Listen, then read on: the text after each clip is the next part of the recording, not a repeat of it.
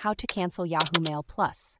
If you're wondering how to cancel your Yahoo Mail Plus subscription, you're in the right place. Let's break it down step by step so you can do it easily.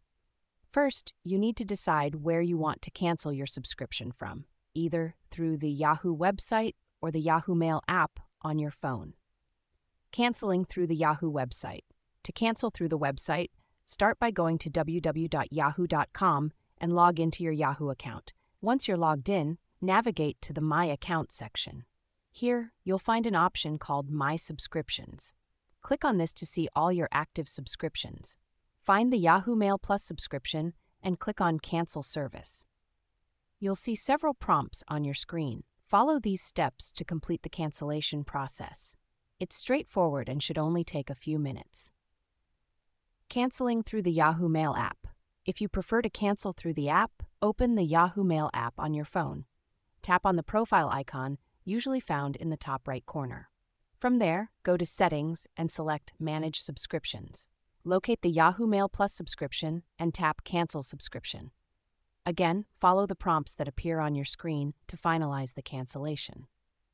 Refund Policy It's important to know about the refund policy if you're looking to get a refund. If you signed up for Yahoo Mail Plus through Yahoo's official website, you can get a refund if you cancel within 14 days of your first monthly subscription. However, if you bought the subscription through Google Play or the Apple Store, you need to check their respective refund policies. Additional tips Before you proceed with the cancellation, make sure you're aware of what you'll be giving up. Yahoo Mail Plus often includes features like extra storage, ad free experience, and customer support. If you're canceling because of an issue, it might be worth contacting Yahoo support to see if they can resolve the problem before you cancel.